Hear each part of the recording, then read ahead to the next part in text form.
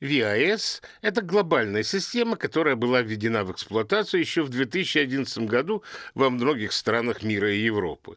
Но сейчас ей придают особое значение, ведь теперь важен строжайший учет каждого человека, въезжающего или покидающего шенгенскую зону. И до конца этого месяца все визовые отделы стран Шенгенского соглашения по всему миру должны быть подключены к единой информационной системе. А данные всех ходатайствующих о шенгенском шенгенской визе будут заноситься в эту единую базу. По мнению экспертов, система ВИАС создается с целью более эффективной защиты личных данных граждан и более слаженного, прозрачного и быстрого рассмотрения визовых ходатайств. Основной целью единой визовой информационной системы стран Шенгенского соглашения является упрощение процедуры выдачи виз, проверок на внешних границах и повышение уровня безопасности в странах Шенгенского соглашения. И, конечно же, главная защита личных данных. Раз в пять лет необходимо пройти процедуру снятия отпечатков всех десяти пальцев. Каждые пять лет данные необходимо обновлять. Но зато, например, в случае кражи документов, никто не сможет воспользоваться вашим паспортом или визой. Система создана при поддержке Фонда внешней границы Шенгенской зоны.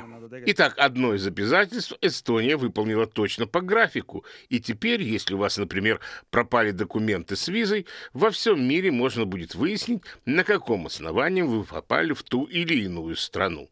Однако наряду с красивым вступлением и запуском единой визовой инфосистемы, оказывается, наша страна еще не присоединилась к некоторым важнейшим системам Европейского Союза. Например, несколько дней назад было объявлено, что Еврокомиссия подает в Европейский суд на Эстонию, Италию, Португалию и Словению, так как эти страны не присоединились к единой введенной в Европейском Союзе системе водительских прав единого образца.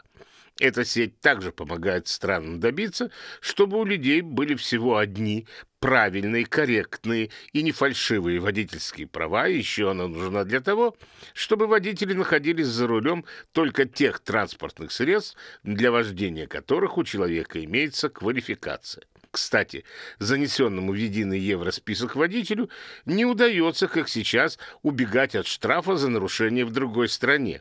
Ведь пока что найти его в стране проживания, в той же Эстонии, очень сложно. Обмен информацией через эту сеть должен был начаться еще в 2013 году. Эстония таким образом опоздала почти на два года, и терпение европейцев уже на исходе. Надо торопиться, ведь штраф, как и всегда в Евросоюзе, будет огромный.